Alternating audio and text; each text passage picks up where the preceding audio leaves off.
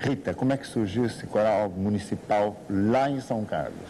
Bom, surgiu através de um projeto que eu apresentei à Prefeitura Municipal em maio de 83.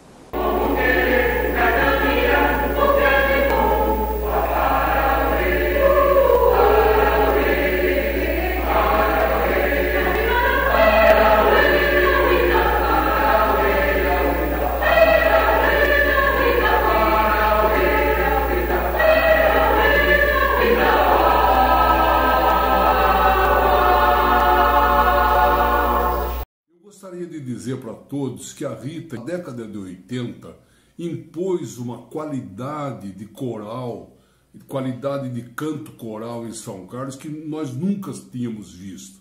Eu tive a honra de ser regido pela Rita Fúcia Mato. Se eu pudesse resumir a Rita Mato num ícone, eu acho que a Rita é como uma taça de cristal, cheia de filigrana, delicada, e que somente o, o, os corações elevados podem interpretar.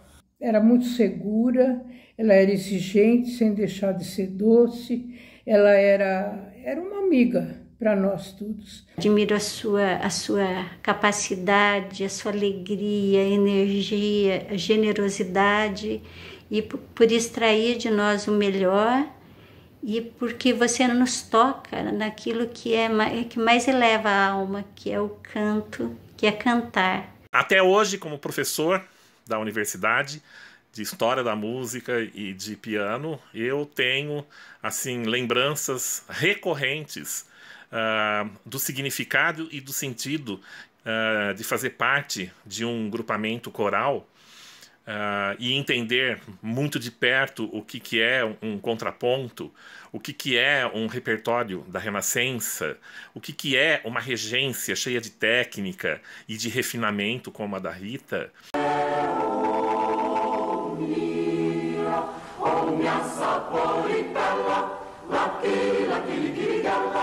Quanto sei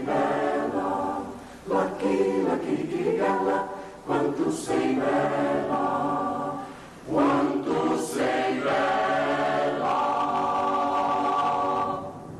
É uma escola mesmo, foi uma escola é, onde eu conheci músicos, compositores uh, geniais. Eu entrei no coral logo que abriu inscrições e participei desde os primeiros ensaios e, e, da primeira apresentação, né, que foi no Teatro Municipal. Muita gente, teatro lotado, era emocionante. Poder participar do Coral Municipal é, foi assim um acolhimento na cidade para mim.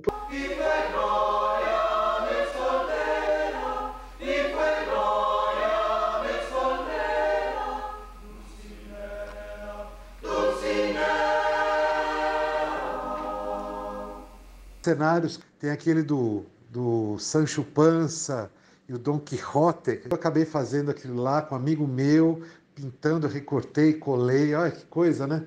Então não era só cantar, era também ajudar a produzir da melhor maneira possível, né? A gente montou uma feira da Filarte para arrecadar fundos, né, com guloseimas. Camarão seco uma colher de sal. Lembra disso? Sete cores, de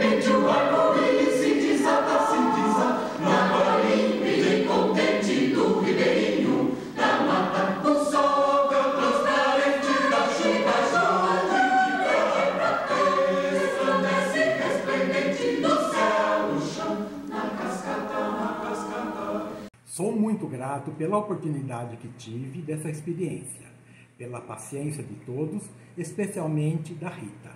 Entrei nesse grupo que era assim bastante rigoroso, porque os corais da Rita normalmente, normalmente não todos, são a capela, o que dificulta muito mais a, a execução mais perfeita do, das vozes. Os primeiros ensaios de naipe dessa música primeira vez que a gente cantou todos os baixos juntos, assim, e ficou uma coisa assim linda, assim, na primeira vez e a hora que terminou todo mundo ficou calado. Ia lá para para a plateia do teatro e ficava vendo os quatro naipes sendo juntados e aquilo resultava em alguma coisa é, muito bonita, muito linda de ser escutada.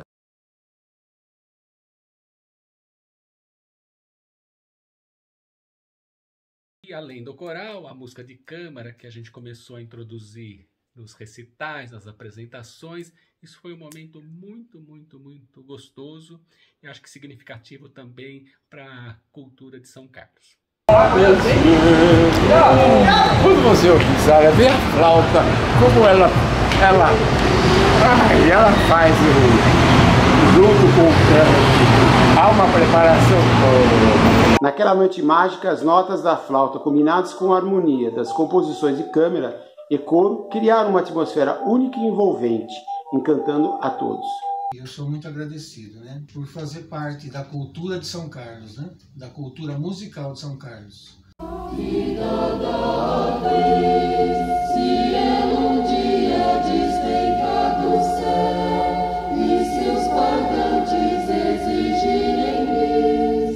E que minha loucura seja perdoada, porque metade de mim é amor. Nesse ambiente musical tão de tão bom gosto, de nível tão elevado e com aprendizagens que para mim foram as das mais importantes. Ah, e tantas outras que forjaram em nós um gosto mais refinado. Para mim, o coral foi assim a melhor fase de São Carlos para mim. A gente cantou músicas que eu adorava, um repertório. Eu lembro até hoje de praticamente todas as músicas que a gente cantava.